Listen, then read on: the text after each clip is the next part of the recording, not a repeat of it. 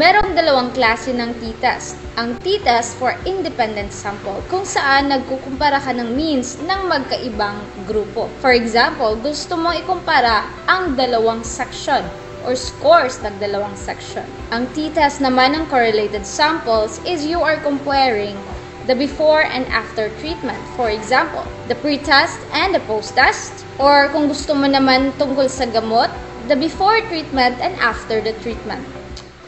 Sa video ito ay magpo-focus tayo sa t-test ng correlated samples.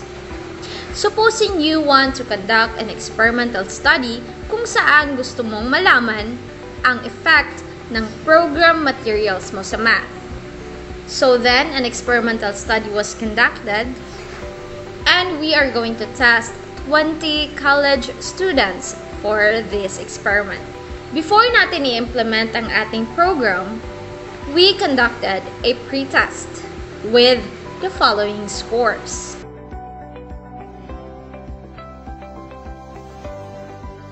We then implemented the program. And after 5 months, we used the same instrument para i-test naman ang ating 20 college students if there is a significant difference after natin i-implement ang ating program. And we got the following results.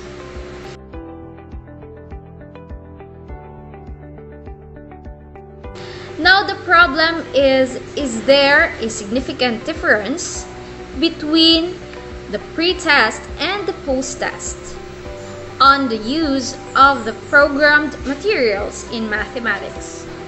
Ang null hypothesis natin sa ating problem is there is no significant difference between the pre-test and the post-test, or the use of the programmed materials did not affect the performance of 20 college students in mathematics. Our alternative hypothesis naman is the post-test result is higher than the pre-test result. So, ang gagamitin natin na computation is the t-test for correlated sample. So, for the formula, ang D bar dyan, yan ang representation natin for the mean difference between the two research. Ang summation of D squared is the sum of square difference between the two research. Summation D naman is the summation of the difference between the two research. Ang level of significance natin sa problem na ito is we are going to use 0.05. So in order to see the t-tabular value, you are going to find first yung ating DF or degree of freedom. So sa pag-solve sa degree of freedom for correlated samples, we are going to use the formula n minus 1. So dahil meron tayong 20 college students, we are going to subtract 20 minus 1. So our degree of freedom is 19. Let us see 0.05 level of significance. Tapos, degree of freedom, 19. So we got the t-tabular value of negative 2.093. To solve this problem, I am going to recommend to make four columns. Yung unang column natin is we are going to write all the pre-test scores which we are going to label as x sub 1. Tapos, on our second column, we are going to write our post-test results. We are going to label that as x sub 2. On our third column, we are going to label that as d. Diyan natin ilalagay ang difference ng ating x sub 1 and x sub 2. What you're going to do in this column is you are going to subtract x sub 1 to x sub 2. So, kung negative siya, ilagay mo din na negative siya. We have, for example, our x sub 1 is 20. And our x sub 2 is 25. That will give us a negative d or negative 5 in the third column.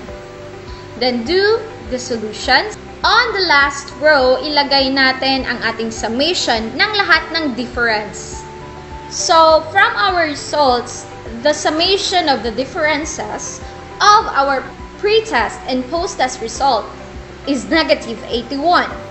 Then we find the average of this difference by dividing the summation of difference divided by our n, which is 20. So, our d bar is negative 4.05. Para naman sa ating fourth column, I recommend to square the d, wherein you are going to refer to the third column, tapos square mo lang. On the last row, you are just going to sum it all. So, here in our example, our summation of d squared is equal to 947. After, pwede na natin siyang isubstitute sa ating formula.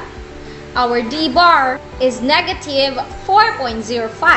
The summation of d squared kung saan nakuha natin sa ating fourth column is 947 minus the summation of d which is negative 81 Now, kailangan mo siya square. So, I recommend to put it in a parenthesis para hindi tayo ma-confused. All over sa n, which is 20. Tapos, divided by our n times n minus 1. So, we have 20 times sa parenthesis, sa loob ng parenthesis, 20 minus 1. So, we are going to solve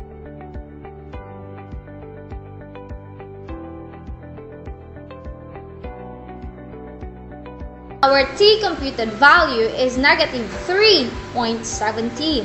Now, the decision rule is that if our t computed value is greater than or beyond ng ating t tabular value, we are going to reject the null hypothesis.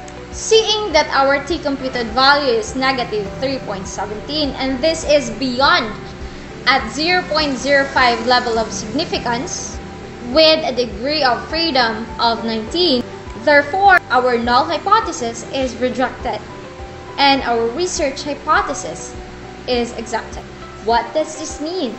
This means that the post-test result is much higher than our pre-test result. What does it imply?